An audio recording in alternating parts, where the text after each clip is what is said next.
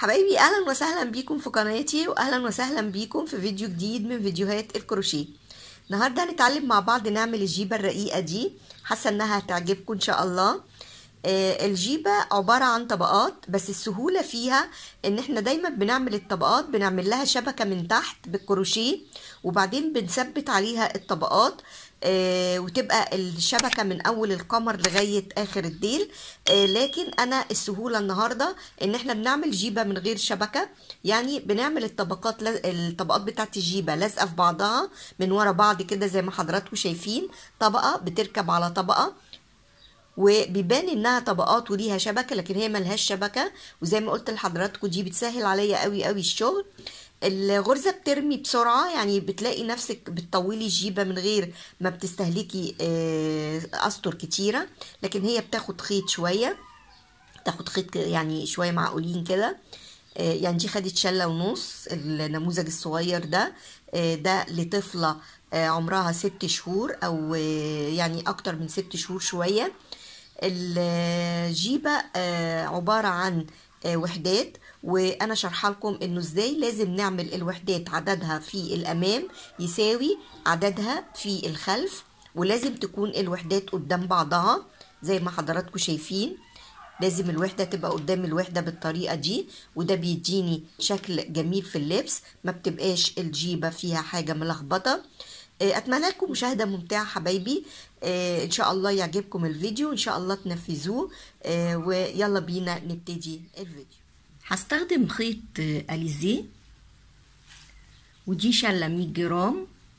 حضرتك ممكن تستخدمي أي خيط لأن إحنا بنتعامل مع المقاسات بالمتر مش بس بعدد الغرز. عدد الغرز هناخده بس اللي هو بنطبقه على تصميم الغرزة. يعني الموتيفة الواحدة أو الوحدة الواحدة تحتاج مننا كام غرزة وبنكررها على حسب المقاس اللي إحنا عايزينه. فأنا استخدمت الخيط ده. حضرتك تستخدميه شتوي تستخدميه صيفي تستخدمي أي نوع من الخيوط لأن إحنا زي ما قلت لحضرتك بنلتزم بس بالقياسات المترية. القمر هبتدي. عشر غرز سلسلة.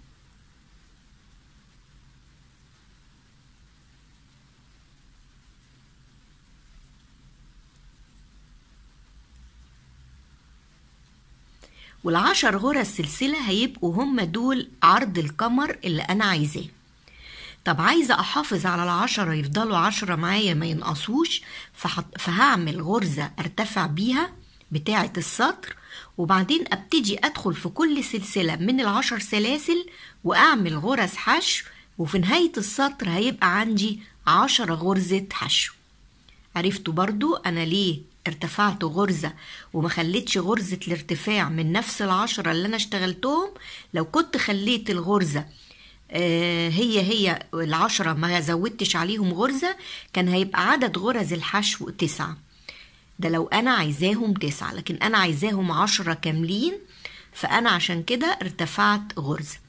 بدخل في غرزة السلسلة وأعمل فيها غرزة حشو عادية خالص أحافظ على عدد الغرز عشرة عشان ملاقيش القمر حتة آه كبيرة وحتة صغيرة.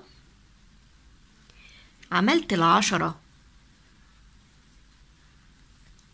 العشر غرز وبعدين هرتفع سلسلة وبعدين أدخل في أول غرزة. بس هدخل فين؟ هدخل في الفتلة اللي ورا بتاعة الغرزة. الغرزة فيها فتلتين.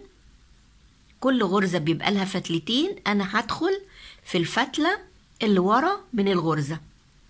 وهعمل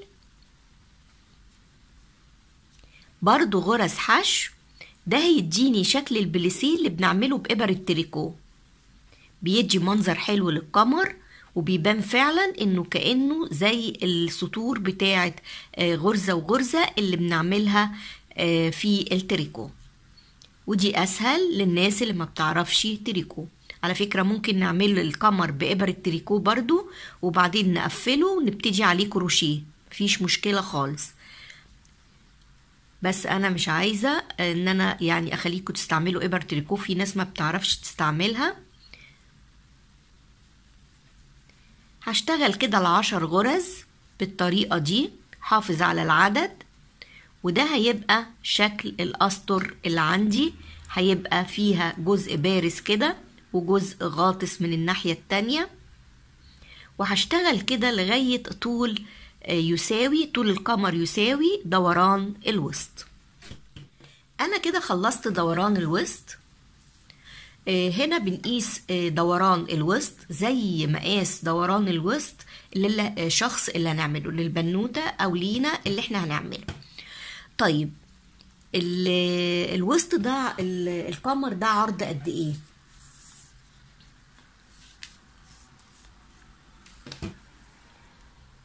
القمر ده عرض أربعة سنتي.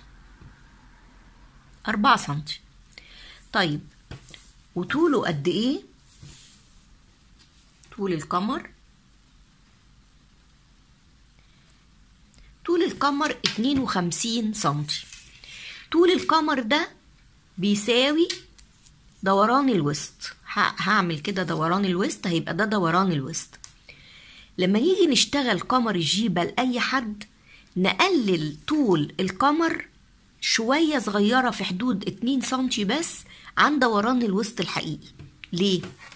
لأن ده شغل يد شغل تريكو أو شغل كروشيه أيا كان.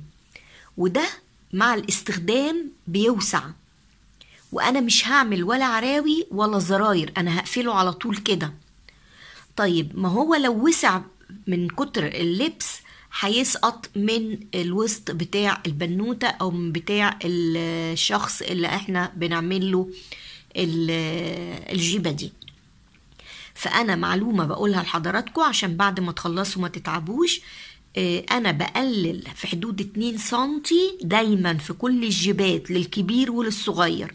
بقلل في قمر الجيبة 2 سنتي عن المقاس الطبيعي أو المقاس الحقيقي عشان ده قمر مع اللبس. بصوا بيعمل زي الأستك.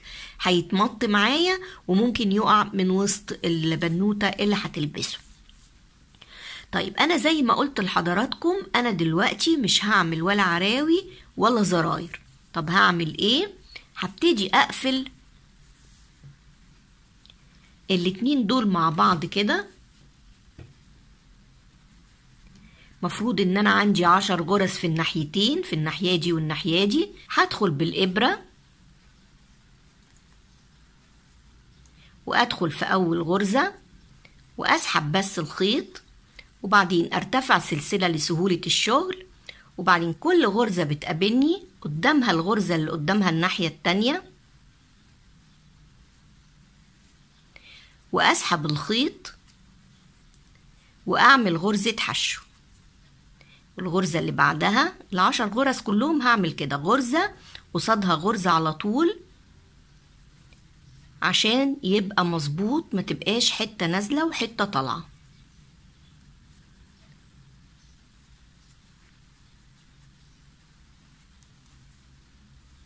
سهل قوي. دول كلهم عشر غرز يعني مش حكاية.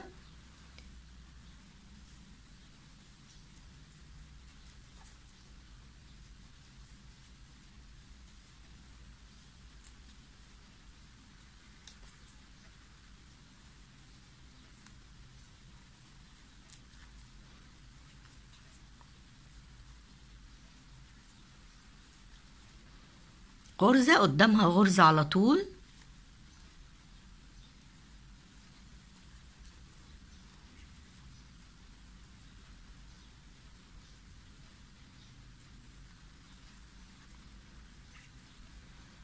وآخر غرزة بتبت عليها عشان ما تبقاش في حتة مفتوحة.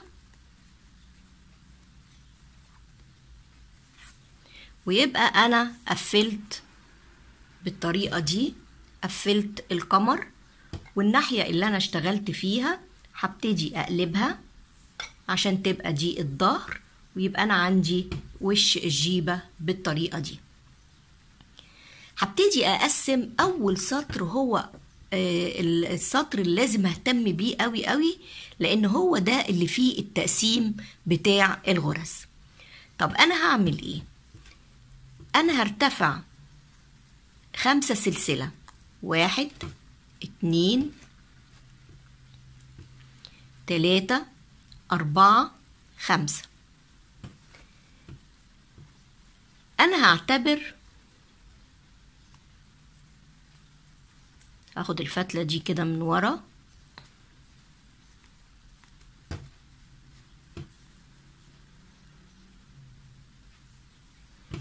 ارتفعت خمسة سلسلة وأنا اشتغلت في الجزء ده. هسيب الجزء اللي في النص ده واشتغل في اللي قصاده على طول اللي زيه وأعمل غرزة حشو. ويبقى الخمس سلاسل أنا خدت لهم المسافة دي. واحدة تانية واحد اتنين تلاتة أربعة خمسة. اشتغلت هنا هسيب دي واشتغل هنا.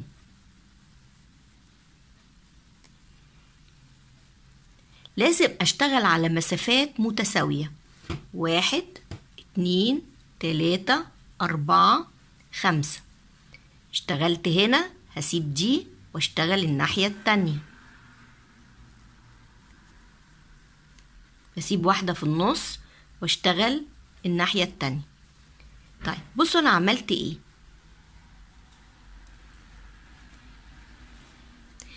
أنا هشغل السطر كله فراغات بالطريقة دي. غرزة حشو وخمسة سلسلة غرزة حشو وخمسة سلسلة وهكذا. هاخد المسافات اللي أنا حاسبها في كل فراغ قد التانية. كل فراغ قد التاني. وفي نفس الوقت أنا عايزة عدد الفراغات دول يساوي رقم يقبل الاسم على أربعة. الحاجة التانية إن عدد اللي يقبل الاسم على أربعة هيديني الناتج كام؟ يعني يديني تمانية يديني أربعة يديني ستاشر يديني عشرين يديني رقم زوجي. ليه؟ عشان عدد الوحدات اللي موجودة في الأمام تساوي عدد الوحدات اللي موجودة في الخلف. أنا بقول لحضرتك معلومات على أساس إنه ما كملش الجيبة أشتغل فيها جزء معين وأروح فكاه. الفك بيتعب وبيزهق وإحنا بنبقى عايزين مشتاقين نخلص الحاجة بسرعة ونلبسها. فهنا يبقى أنا عايزة المسافات تبقى الفراغات تبقى على مسافات متساوية نمرة واحد. نمرة اتنين عدد الفراغات يقبل الاسم على أربعة زي. نمرة تلاتة لازم الناتج يكون عدد زوجي آه ليه؟ عشان تبقى عدد الوحدات اللي هتبقى موجودة في الأمام تساوي عدد الوحدات اللي هتبقى موجودة في الخلف هخلص الفراغات دي وأرجع لحضراتكم كده خلصت السطر الأول وحافظت على المسافات بين كل فراغ والفراغ اللي بعده وهنا هختم آخر خمس سلاسل في أول غرزة أنا عملتها وهعمل غرزة منزلقة. طب هل أنا حافظت على الشروط اللي أنا قلتها لحضراتكم؟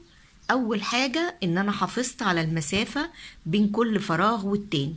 خدت مسافة واحدة لكل فراغ والتاني. طيب الشرط التاني هل الفراغات قدام بعضها في الناحيتين؟ أنا هنا لازم الفراغات اللي في الأمام تبقى قصاد الفراغات اللي في الخلف. هتقولي لي ما هي جيبة وداير ما يدور وخلاص ونعمل؟ لأ. لما بيبقى عدد الحاجات الغرز والوحدات اللي موجودة في الظهر قد عدد الوحدات اللي موجودة في الأمام ده بيريحني جدا وما بيخليش الجيبة تبقى لفة على البنت تبقى موروبة. لا تبقى دغري ونازلة جميلة جدا بنفس النسبة وبنفس المقياس. فأنا هنا كل الوحدات زي ما أنتوا شايفين حضراتكم قدام بعضها هنشوفها مع بعض. دلوقتي هنبتدي السطر رقم اتنين. السطر رقم اتنين أنا هدخل في أول فراغ هنا ده أول فراغ وهدخل أعمل منزلقة وبعدين أرتفع تلاتة سلسلة يمثلوا عمود. يبقى ده أول عمود عندي. وأكمل في الفراغ. دي الفتلة اللي أنا كنت واخداها للتنظيف هشيلها وبعدين أبقى أحطها بعدين. هنا ده أول عمود بتلاتة سلسلة. هكمل في الفراغ سبعة عمود. مع التلاتة سلسلة يبقوا تمانية عمود. يبقى أنا عايزة أملى الفراغ الأولاني بتمانية عمود. كده واحد يبقى هنا اتنين.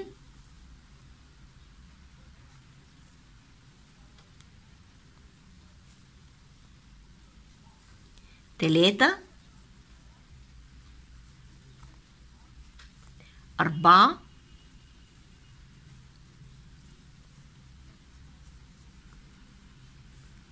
خمسة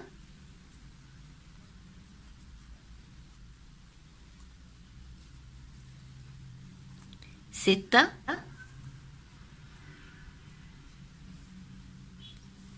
سبعة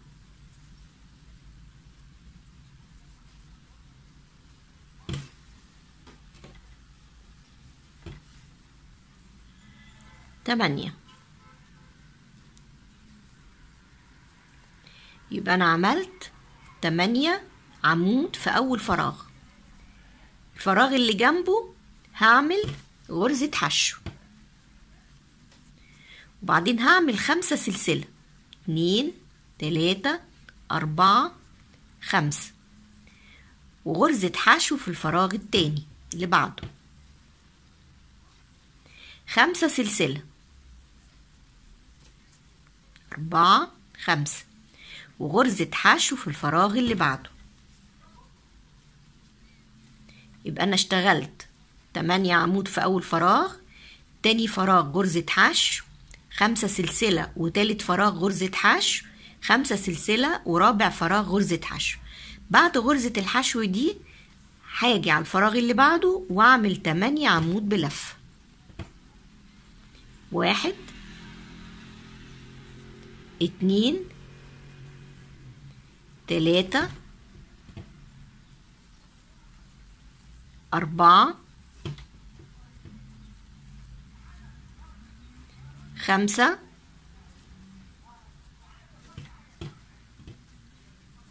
ستة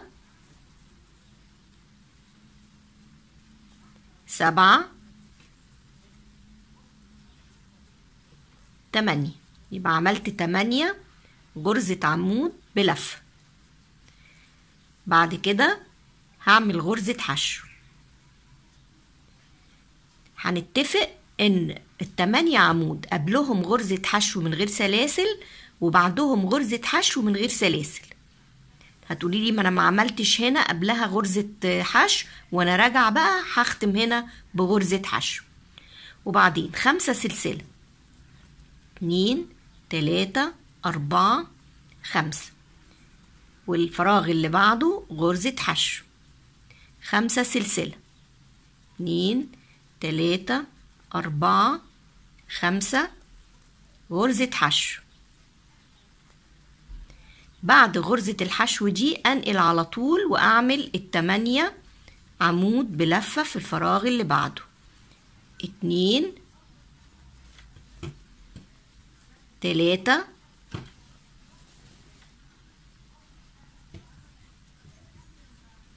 أربعة.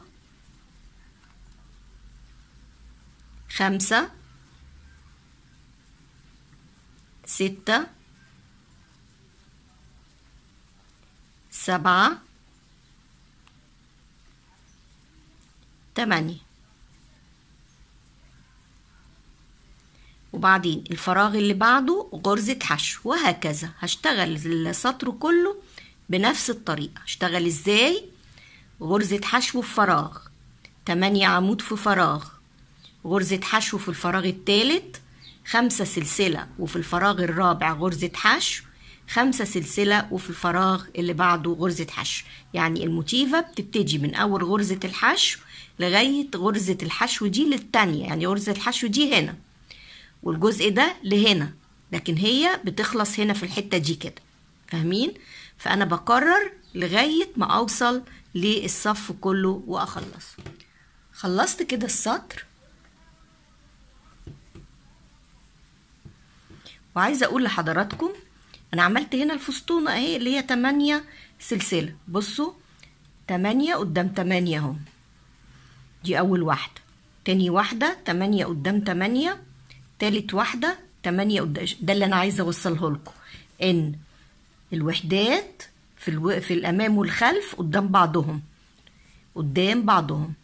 يبقى حتى الجناب هتبقى زي بعضها. ما بقاش ماشية بالجيبة. جنب فيه حاجة والجنب التاني فيه حاجة تانية. ماشي حبايبي؟ طيب هنا أنا وصلت لآخر السطر. عملت الفستونة 8 عمود وعملت غرزة حشو وخمسة سلسلة وغرزة حشو. باقي أعمل خمسة سلسلة واحد اتنين تلاتة أربعة خمسة. وبعدين غرزة حشو. وهقفل السطر. بعد غرزة الحشو على طول فاكرين أول غرزة كنت عاملاها تلات آه سلاسل في العمود الأولاني؟ هدخل في العمود الأولاني واعمل فيه غرزة منزلقة. آخر غرزة عم... في سلسلة في العمود هعمل غرزة منزلقة وأبقى كده خلصت السطر بالطريقة دي.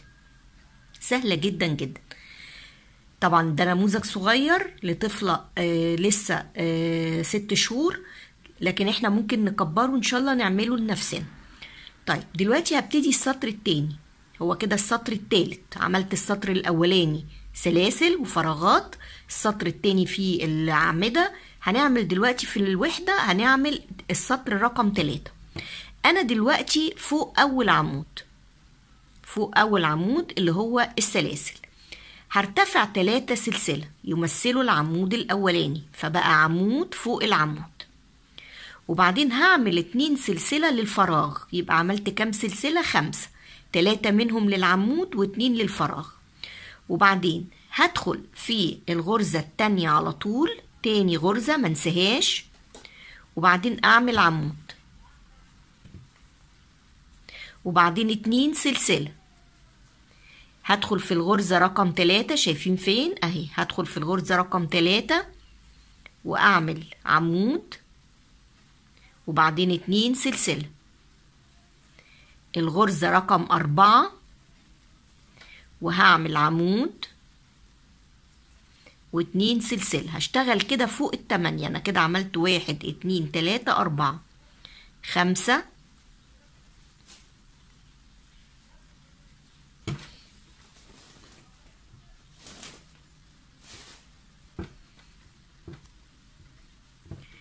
اتنين سلسلة. ستة.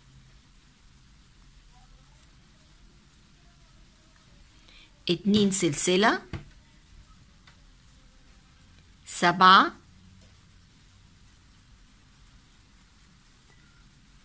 اتنين سلسلة. تمانية. يبقى عملت تمن أعمدة فوق التمن أعمدة بس الفرق بينهم وبين السطر اللي بعد اللي تحتهم إن بين كل عمود وعمود فيه فراغ باتنين إيه؟ باتنين سلسلة. هنا في عندي فراغين. كل فراغ كان فيه خمسة سلسلة. حاجي أنا بعد دايما الموتيفة دي أو بعد ال ال الوحدة دي بدخل على أول فراغ وأعمل غرزة حشو. وبعدين هعمل خمسة سلسلة. تلاتة أربعة خمسة. وفي الفراغ اللي بعده غرزة حشو. يبقى أنا اختصرت الفراغين في السطر اللي فات عملتهم في السطر ده فراغ واحد. باينة قوي اهي. طب أنا عملت خلاص غرزة الحشو هدخل على الوحدة دي واشتغل فيها زي الوحدة دي بالظبط. العمود الأولاني. عمود بلفة. اتنين سلسلة. العمود التاني. اتنين سلسلة. العمود التالت. اتنين سلسلة. الرابع. اتنين سلسلة. الخامس.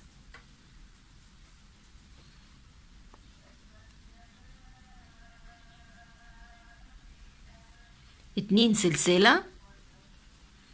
السادس. اتنين سلسلة. هعمل التمانية كلهم بالطريقة دي.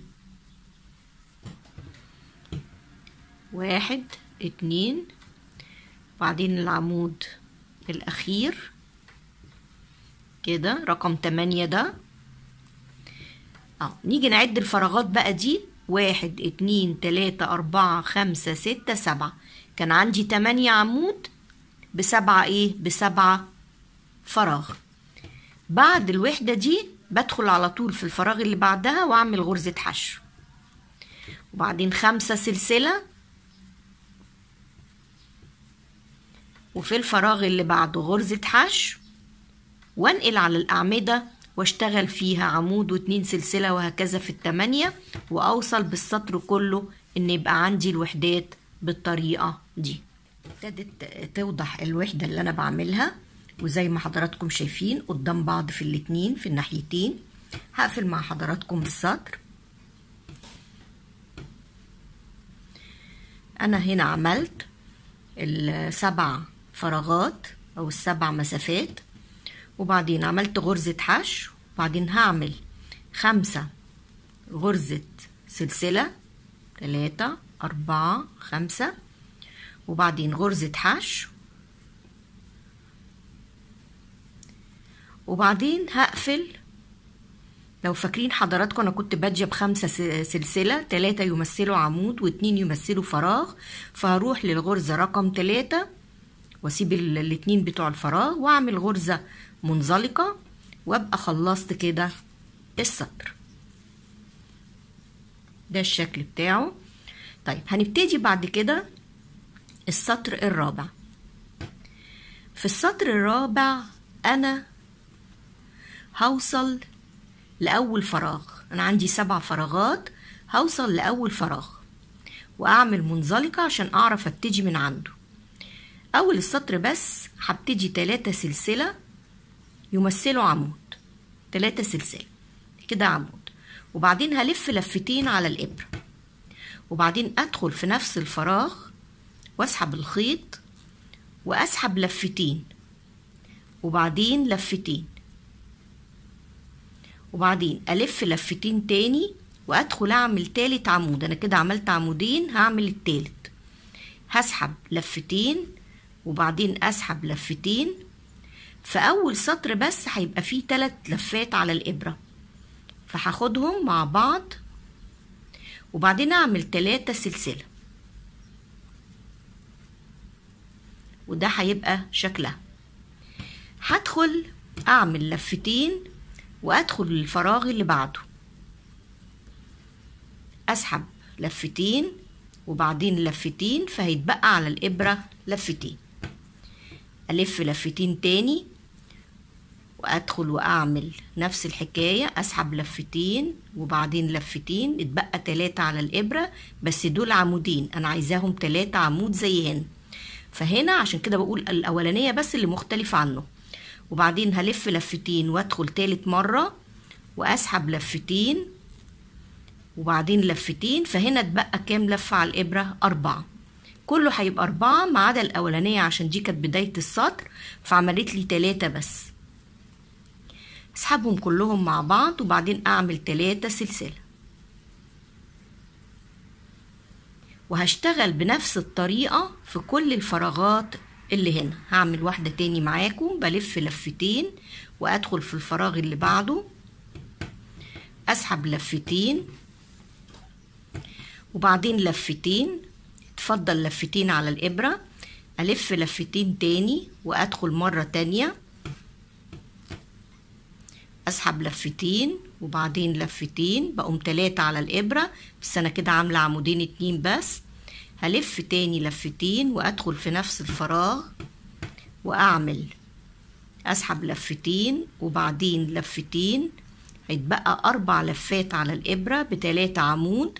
هسحبهم كلهم مع بعض وبعدين أعمل تلاتة سلسلة. هشتغل في كل الغرز بنفس الطريقة ديت لغاية ما أخلص السبع فراغات. فهنشوف هيدوني قد إيه. دخلت في السبع فراغات وعملت السبع مجموعات اللي حضراتكم شايفينهم دول.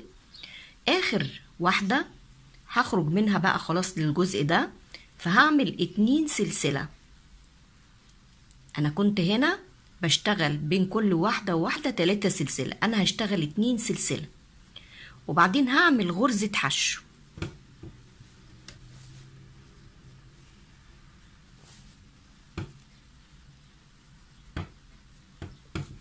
وبعدين اتنين سلسلة. وبعدين ادخل على الفراغ الاولاني واشتغل بنفس الطريقة اللي أنا اشتغلت بيها قبل كده.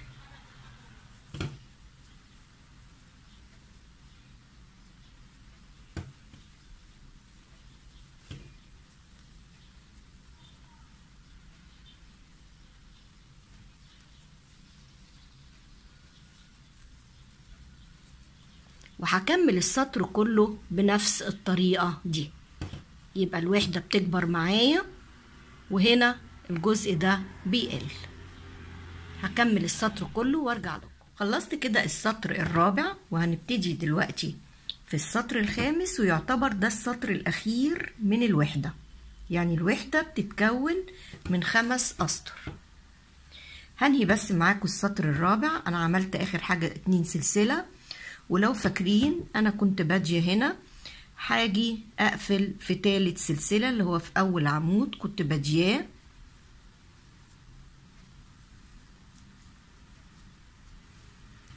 وكده نبقى خلصنا السطر. رقم أربعة. هنبتدي مع بعض السطر رقم خمسة. آخر سطر في الوحدة. وبعد كده هنكررها بقى تاني. طيب أنا هعمل إيه؟ عايزة أدخل للجزء اللي هو الفراغ ده فأنا هعمل منزلقة تاني قبل ما أدخله عشان ما يشدش بس.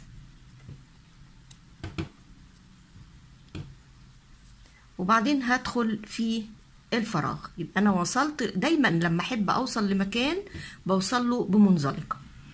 وبعدين هرتفع سلسلة وأعمل اتنين غرزة حشو.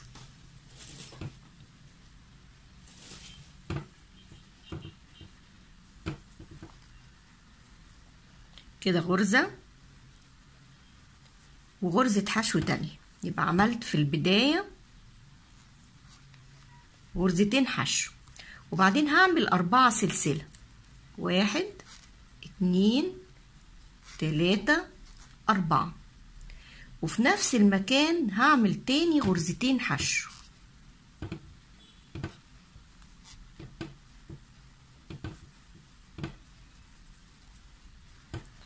يبقى في الفراغ الأولاني عملت اتنين حشو أربعة سلسلة اتنين حشو. وبعدين هدخل على طول في الفراغ اللي بعده. أعمل اتنين حشو برضو في الأول. أربعة سلسلة.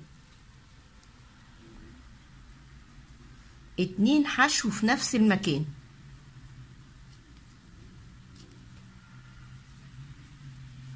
وهعمل كده في كل الفراغات السبعة اللي موجودين عندي. هعمل إيه؟ هعمل اتنين في كل فراغ. هعمل اتنين غرزة حشو أربعة سلسلة اتنين غرزة حشو لغاية ما أوصل للمكان ده. كده الوحدة دي خلصناها.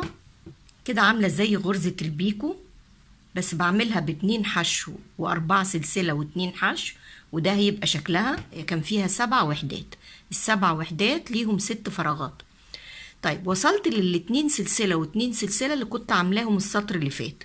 هدخل في كل واحدة منهم وأعمل اتنين غرزة حشو مش هعديهم كده. غرزتين حشو في الناحية دي وغرزتين حشو في الناحية التانية.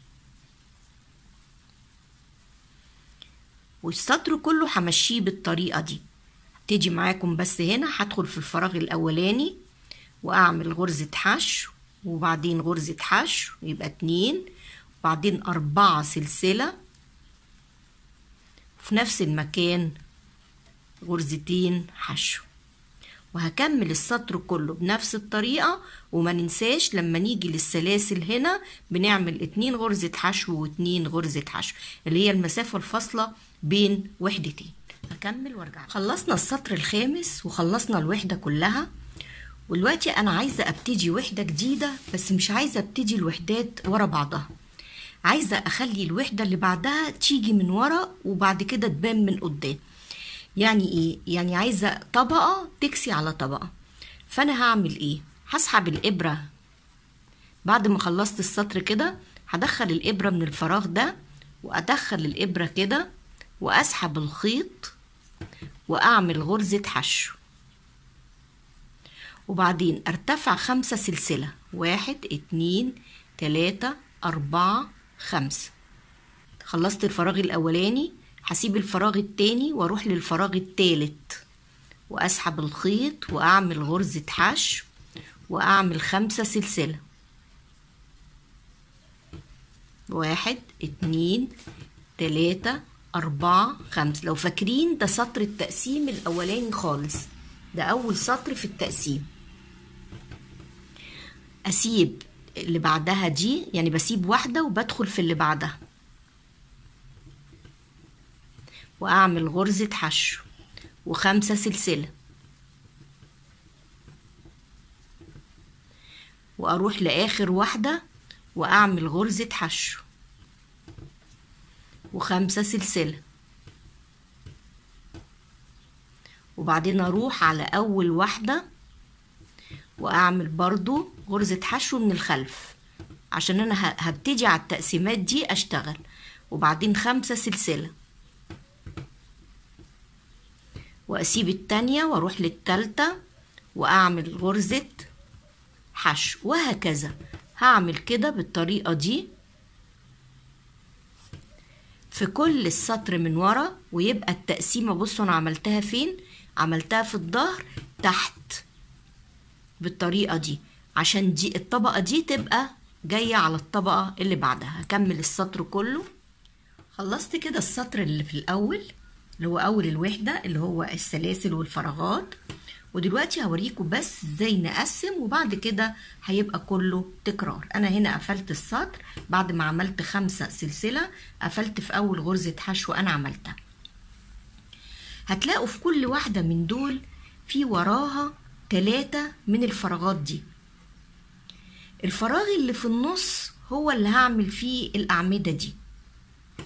والفراغ اللي على الحرف ده غرزة حشو والفراغ اللي على الحرف ده غرزة حشو. معايا؟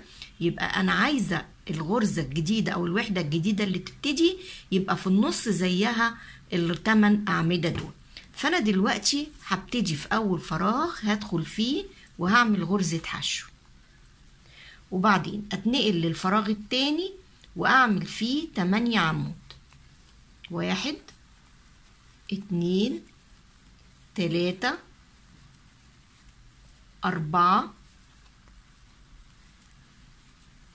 خمسة. ستة.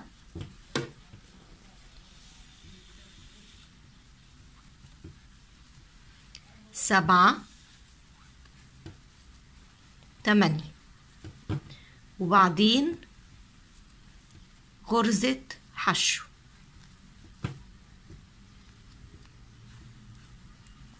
يبقى التلات سلاسل اللي ورا أو التلات فراغات اللي ورا هعمل في واحد غرزة حشو وفي التاني التمن أعمدة وفي التالت غرزة الحشو بحيث إن الأعمدة دي تبقى فوق الأعمدة دي أو في نفس مستواها بعد كده هعمل خمسة سلسلة واحد اتنين تلاتة أربعة خمسة وأروح للفراغ اللي بعده وأعمل غرزة حشو. وبعدين خمسة سلسلة. والفراغ اللي بعده هعمل غرزة حشو. وبكده أبقى رحت للفراغ اللي في النص اللي هو فوق الوحدة دي وأبتدي أعمل فيه 8 عمود بنفس الطريقة. هشتغل السطر كله وبنفس الخطوات هبتدي أرتفع في جسم الجيبة الطول اللي أنا عايزة أوصل. يبقى فاهمين عملنا إزاي؟ أهم حاجة إن الوحدة دي تبقى فوق الوحدة دي. وبعد كده اهم الفستونات زي الفستونات اللي هنا بالظبط وهبتدي أشتغل وهيبقى الوحدة شكلها كده وهتبقى مغطية شوية على الوحدة اللي بعدها. أكمل بقى الجيبة الاسطر اللي أنا عايزاها وأرجع لحضرتك. حبايبي وكده خلصنا الجيبة بتاعتنا. يا رب تكون عجبتكم ويا رب تكونوا استفدتوا من شرح الطريقة. أتمنى تعملوها وأتمنى تعجبكم وتعجب بناتكم. ميرسي لحسن مشاهدتكم ميرسي ليكم ميرسي لتعليقاتكم ميرسي لاشتراكاتكم ميرسي لدعمكم لقناتي. ميرسي لكل كلمة حلوة بتقولوها لي وبتشجعوني بيها. ميرسي حبايبي بحبكم كلكم. thank you bye bye